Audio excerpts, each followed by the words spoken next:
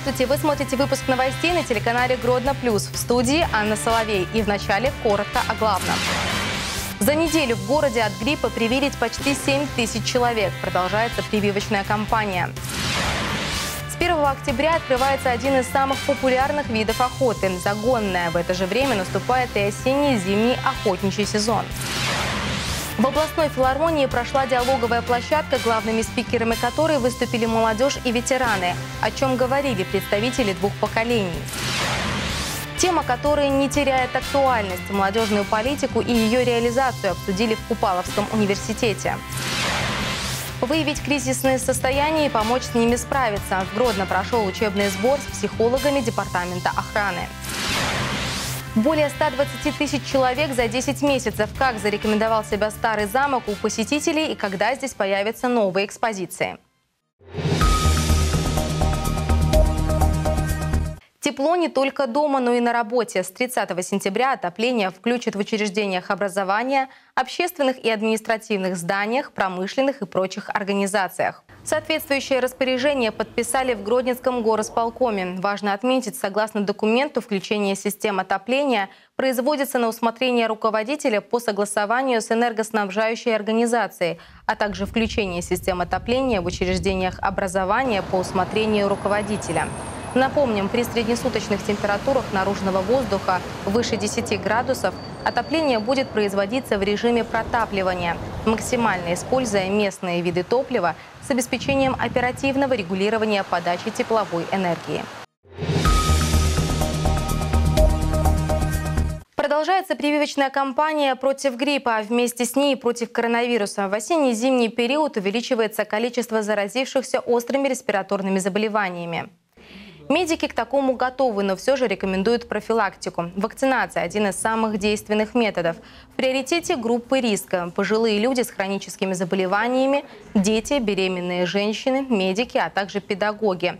Им положена иммунизация на бюджетной основе. Препарат российского производства «Гриппол». Им уже прививают несколько лет. Кроме того, есть французский. Этот укол ставят всем желающим платно.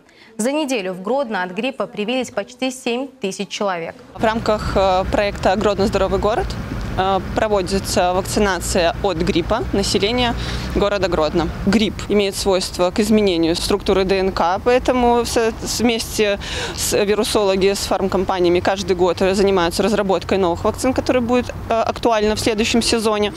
И еще потому, что ну, вакцина от гриппа работает таким образом, что иммунитет держится не более 12 месяцев.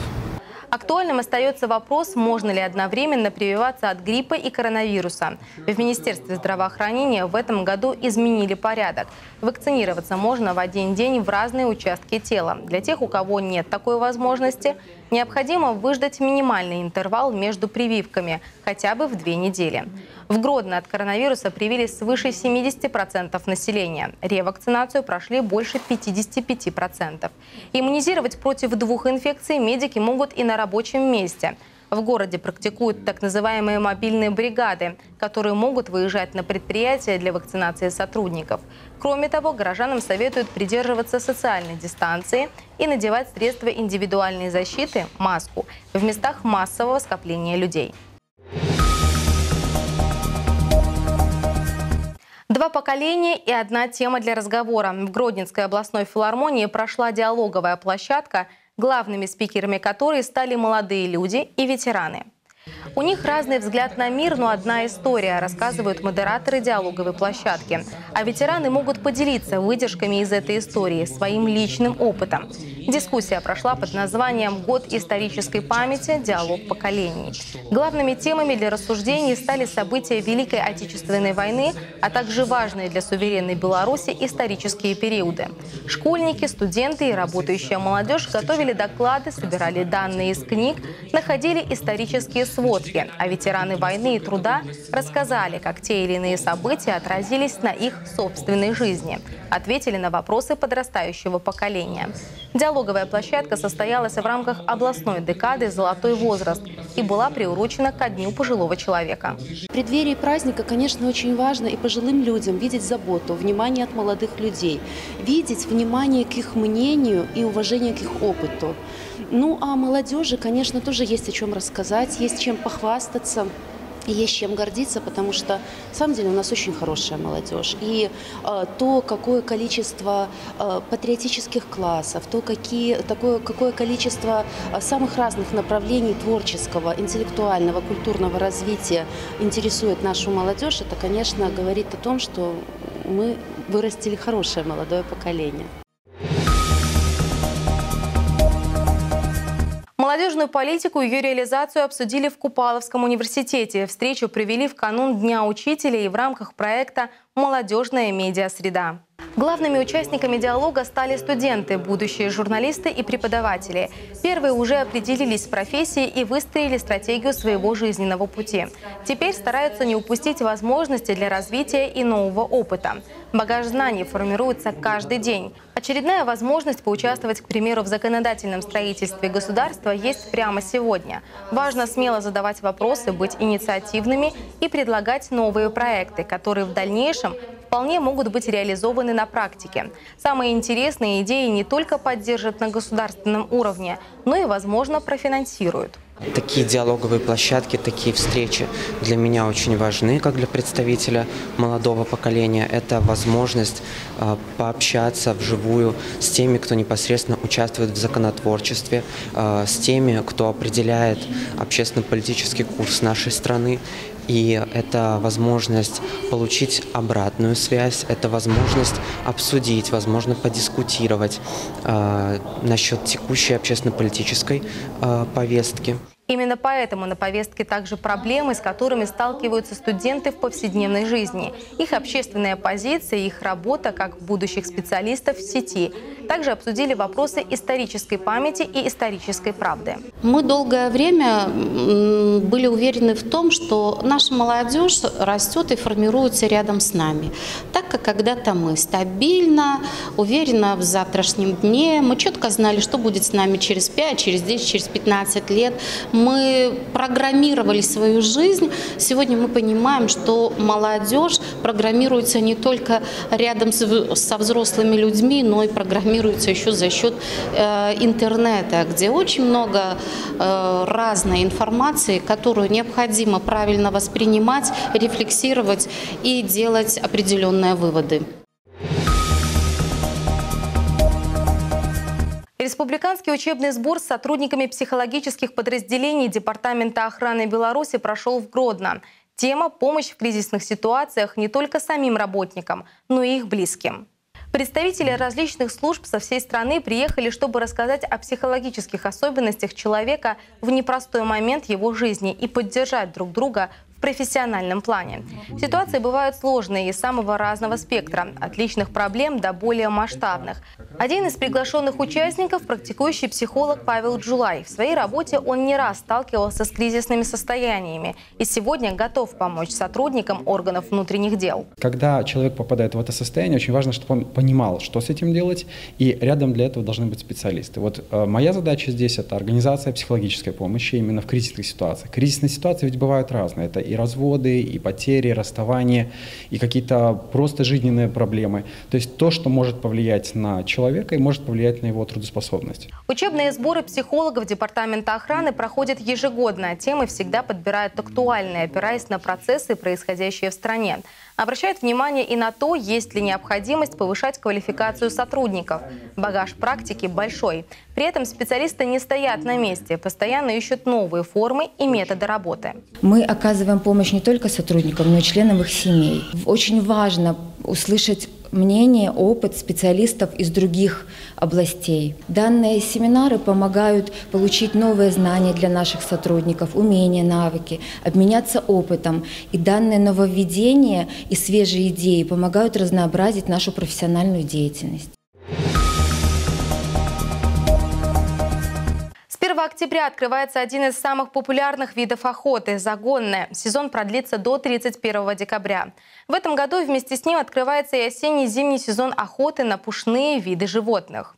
В этот период будет разрешено охотиться на зайца беляка и зайца русака с дипломированными собаками. С 5 ноября к указанным видам добавится также куница лесная, куница каменная, андатра, хорь и ряд других животных. Осенний-зимний сезон охоты продлится до 29 января. При проведении законной охоты наиболее популярными видами охотничьих животных являются такие, как лось, кабан, олень благородный, олень пятнистый, косуля. При этом следует помнить, что для, при добыче оленя благородного лося разрешено использовать нарезное охотничье оружие с дульной энергией пули свыше 3000 жоулей, а также гладкоствольное охотничье ружье, снаряженное с патронами, снаряженными пулей, луки-арбалеты. Вместе с тем, при охоте на оленя пятнистого, косулю, разрешено использовать гладкоствольное охотничье ружье, снаряженное пулей или картечью, нарезное охотничье оружие с дульной энергией пули свыше полутора тысяч джоулей, Породы и виды собак определяются по решению пользы охотничьих угодий. Охотникам следует помнить о мерах и требованиях безопасности, в первую очередь таких, как запрет выходить на стрелковую линию, стрелять по неясной видимой цели на шум или шорох – а также самостоятельно сходить с номеров. Нарушение этих норм является, как правило, основными причинами несчастных случаев. Незаконная охота влечет за собой административную ответственность в виде штрафа от 10 до 30 базовых величин с лишением специального права охоты и конфискации, либо без конфискации оружия. При причинении вреда может также наступить уголовная ответственность в виде штрафа вплоть до лишения свободы сроком до 6 лет – при нарушении правил безопасности охоты на первый раз предусмотрена ответственность в виде штрафа до 15 базовых величин. При повторном нарушении в течение года ответственность существенно возрастает, штраф до 30 базовых величин с лишением специального права охоты. Более 120 тысяч человек за 10 месяцев посетили первую экспозицию Старого замка. Городской достопримечательности и по сей день выстраиваются очереди из туристов. Чуть меньше года назад состоялось открытие первой очереди реконструкции архитектурного объекта, и он сразу начал пользоваться большой популярностью. За первые два дня работы Старый замок посетили полторы тысячи человек. Наплыв туристов сохраняется и сейчас. Начинается экскурсия по историческому ядру Гродно с внутреннего дворика. Здесь же первый экспонат – фрагмент оригинальной брусчатки, заложенный в XVI веке. Археологическую тематику продолжает и первый зал выставки. Здесь разместились предметы, найденные во время раскопок. Далее экскурсоводы рассказывают о жизни Гродницы в средневековые времена. В центре экспозиции находится специально созданный макет, отражающий устройство нашего города в XII веке. Выделить что-то наиболее интересное туристы не могут. Здесь важна и уникальна каждая деталь. Пока замок работает в пределах своей пропускной способности. Если во вторник, среду и четверг любой желающий может пройти на экскурсию свободно, то вот в пятницу, субботу или воскресенье сделать это сложно. Большой поток посетителей. Иногда сотрудникам музея приходится даже приостанавливать продажу билетов. Все потому, что для туристов пока доступна лишь часть первой очереди реконструкции. Вскоре откроется еще четыре помещения. Это алебастровый зал, королевская баня, жилье королевского секретаря и замковая каплица. Она, к слову, будет открыта первой. Это такое помещение, где, э, ну, можно сказать, маленький замковый костел. Там практически готово все, что требуется для его интерьера. Готовы витражи в окна, они уже давно готовы. Э, сейчас завершается э, монтаж и доводка росписи на потолке. Стены практически готовы. Но еще нужно будет доложить печь. Она уже сложена более чем наполовину, но сейчас просто стоят еще леса, чтобы довести потолок. Новые помещения, если все пройдет по плану, откроются для посетителей уже в конце этого года. А пока особой популярностью у туристов пользуются даже не экспозиции, рассказывают в Старом замке, а смотровая площадка, с которой открывается неповторимый вид на реку и за Неманскую часть Гродно. Облачно, дождь, но тепло. Синоптики рассказали, каким будет начало октября. Солнечные дни, которые были в конце недели, сменятся облачностью и дождями. Их стоит ожидать уже в субботу. В Беларуси на 1 октября объявлен оранжевый уровень опасности из-за сильных осадков. При этом ночью воздух прогреется до плюс 10 градусов по Цельсию. Днем температура воздуха составит плюс 11, плюс 12 градусов. Возможен туман. ГАИ просит водителей учитывать этот факт, чтобы избежать аварий. В воскресенье 2 октября на погоду скажется влияние атмосферных фронтов, которые будут смещаться с Западной Европы. Кроме того, облачность сохранится, также ожидаются дожди. Существенных изменений в температуре воздуха не предвидится. Впрочем, в начале следующей недели по-прежнему будет пасмурно, дождливо и туманно. Температура днем плюс 7, плюс 14 градусов по Цельсию. 5 октября прямую телефонную линию по налогообложению проведет начальник Министерства по налогам и сборам Октябрьского района города Гродно Дмитрий Михайлович Горбацевич. Вопросы можно задать по номеру, который вы видите на своих экранах с 9.00 до 12.00. Телерадиовещательному каналу «Гродно Плюс» требуется на постоянную работу оператор и диктор новостей. По всем вопросам обращайтесь по номеру 62 07 86 с 8.30 до 16.30. Резюме отправляйте на нашу электронную почту с пометкой «Вакансия оператора» или диктора. На этом выпуск завершен. Еще больше новостей вы найдете на нашем сайте grodnoplus.tv.by. А я прощаюсь с вами. Приятного отдыха на Гродно Плюс.